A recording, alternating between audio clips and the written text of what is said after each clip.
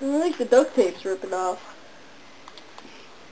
I think it's ripping off. Hey! Hey! Hey! We need a new duct tape job.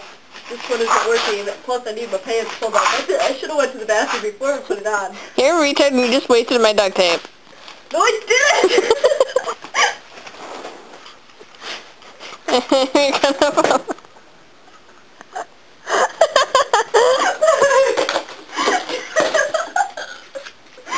oh! You okay? Alright, let's go do a job.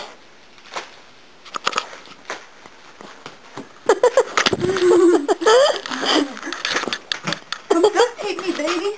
Whoa! That was a weird. Oh. Are your pants high enough? Yeah!